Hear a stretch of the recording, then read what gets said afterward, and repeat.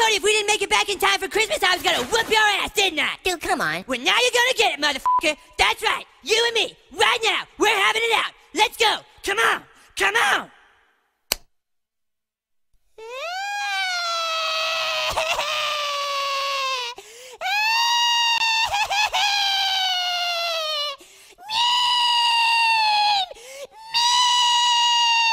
Hey, come on, boys. You can spend Christmas with us.